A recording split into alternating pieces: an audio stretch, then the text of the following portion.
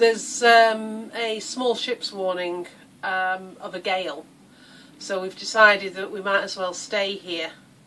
So it's time for some splicing. So I've taped my ends and now I'm going to unlay the rope.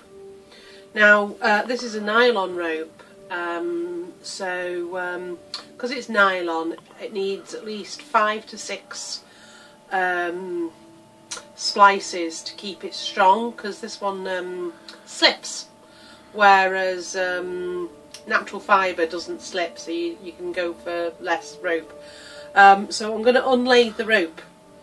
So, um, so that's one, two, three, four, five, six. Okay, so I'm going to be doing six uh, whips and I'm going to just do one more for luck. And now I'm going to take this here. And what we're going to do just below where I've taped it is we're going to put a sailmaker's whipping just here because we want this to be a permanent uh, fixture. So we can just uh,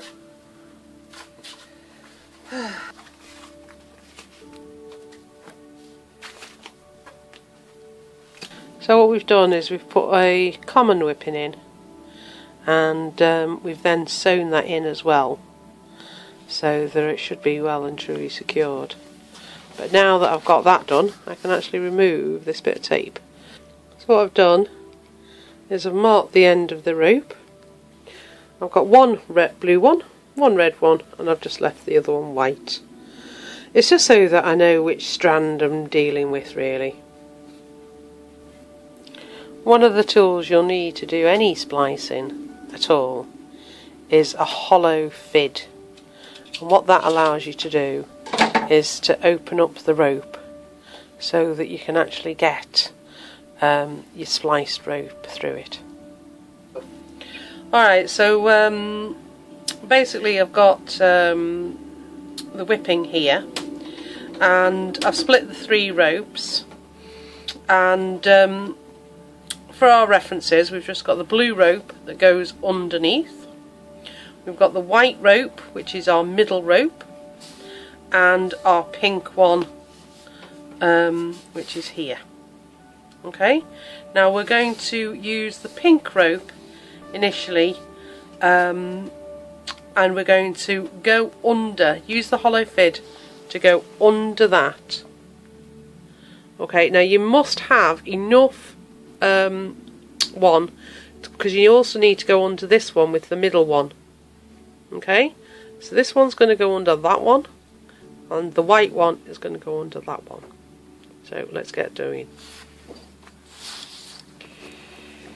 I'm going to go underneath and lift this up. It's always a little bit tricky.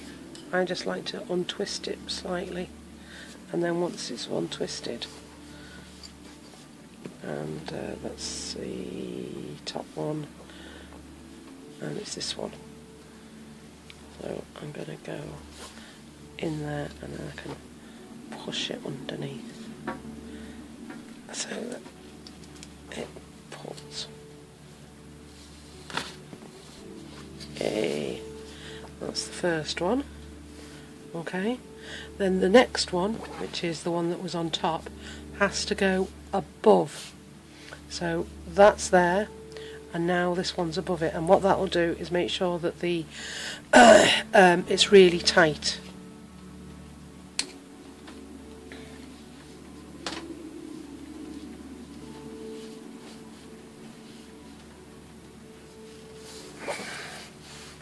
This is the hardest one, yeah? Yeah, because basically this is going to be um, make sure that the thimble is really tight in because we want it very tight. So because that's above that, it's really going to make that very tight. Okay, so these two are actually the easiest one. I always find the third one is the hardest to suss out. Okay? So what I'm going to do now is I'm going to turn it over. Now we've basically, when I turn it over, I have to think what's going to happen to these ropes. Okay, and basically this rope has just gone under that, so it's going to go over this. That one has just gone under that, so it's going to go over that one. So basically you've got to find the one where it's not going to clash with any of the others, but it's going to go under um, the third rope. So let's just look at that. That's going to go over. Okay. Um, so this, because that's going to go over and under. This over, under. Over, under. Just let me just think for a minute, love. When you're doing a, a splice, um, you start from the right to the left. So when you're putting things underneath, you're going from the right to the left. I've now turned 180 degrees, so I'm now on the back. And this is the, as I say, this is the one that's always the hardest. And again, I'm going to go from the right to the left, so it's actually got to be over here. In the books, it says the uppermost. Okay, the uppermost splice. Now, what I look at is I try and think, right, okay, this one is going to go over that one, under that one. So it's going to go over that one. So this one here, it's going to go over, under, over. So this one, which is the last one, has got to go under that. So it's important that um, when you're doing these splices, that the, that um, you don't have two um, coils going over the same thing.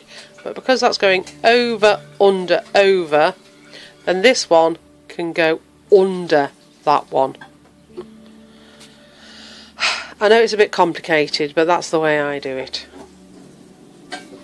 Okay, so once I've got my splices um, worked, the first splice is always the hardest, but then it's not too bad because um, this is going to go over that and under this.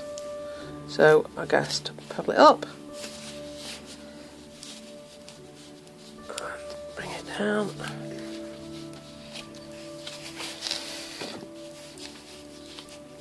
And it's over. Now what I like to do is I like to do a pattern. So I've just done that one. So this is going to be my next one. So I just, so it's gone under that. So it's over this and it's under that one.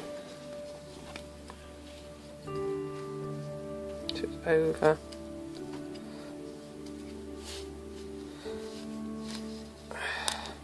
The hollow fid is definitely the way to go with this. I think you need a bit more fid. Yeah, a bit more fid. There you go. As Bev says, a bit more fid. It's obviously fiddly.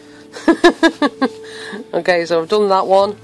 So that's um, I, I then twist it, so it's got to go over this one and under that one. And you can see I've just got a little bit of a pull there. I'm hoping that'll be alright um, can you see the pull? It's just gone just under. yeah, go so so I'm going over and under again. So I pull it up bit more fid as Bev says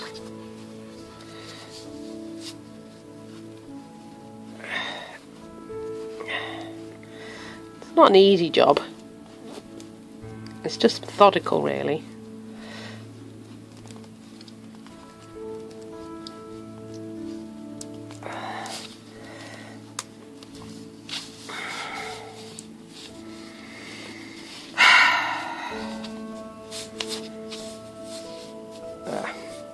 So again, I twist it, and now I'm going to go over that one and under.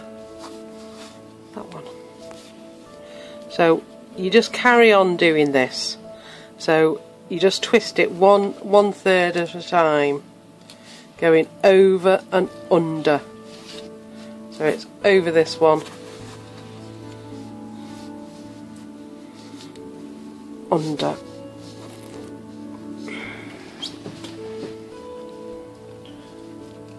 Under that one. Alright, so this is what it looks like Yep, after you've done it. yep. So what is it you're going to do? All I'm going to do now is I'm just going to cut off the ends and then I'm going to use my lighter um, to, because this is a plastic, it will actually um, stop the rope from fraying. Okay. And then the last little job is just to get rid of uh, these little bits of um, tape that I only use to um, keep everything going nearly. So it's a case of cut this off and then Try not to set the boat on fire. basically, yeah, singe the ends so that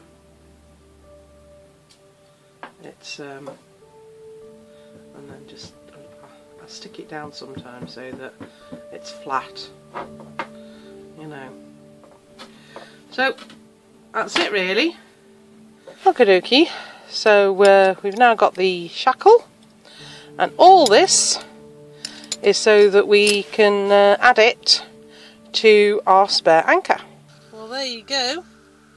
There it is on uh, with my shackle and my Danforth anchor. So, and that's it in the sail locker, and there's my splice. All done and neat and tidy.